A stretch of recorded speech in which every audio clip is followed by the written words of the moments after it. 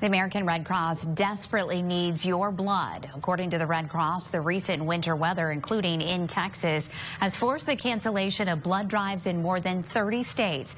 That has resulted in a loss of roughly 20,000 blood, platelet, and convalescent plasma donations this month.